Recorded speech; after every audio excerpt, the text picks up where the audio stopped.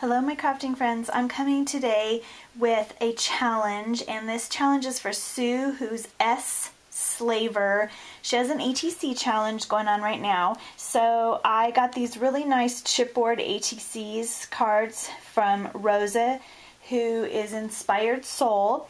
So thank you so much Rosa for those.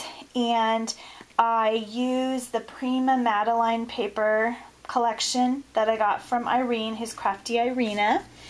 And um, I got this cute little um, jar stamp at Michael's when I was shopping with um, Sybil, who's Sybil B here on YouTube. And this little pearl is from the dollar store, and I paper pieced um, this stamp.